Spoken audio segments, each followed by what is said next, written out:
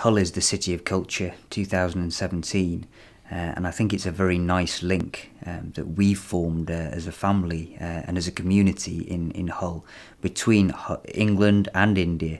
Um, I don't think that many people are aware of the number of cricketers in particular that have been through Hull, but we're probably looking at at least around 20 cricketers, uh, right from 1990 when Dilip Vengsarkar came over to W.V. Raman, uh, to more recently we've had Sarfaraz Khan, Prithvi Shaw, Vikas Dixit and a few others.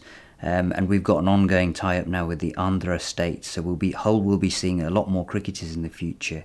Uh, and I think it's been a wonderful uh, link, the cricket and the medicine, between Hull, England, and India. I think both medicine, um, because of the number of doctors that have come over from uh, the Indian subcontinent, I think almost 30 to 40% of the current workforce in the NHS are either um, first generation um, or second generation doctors of that gener not just doctors actually but nurses and other healthcare professionals.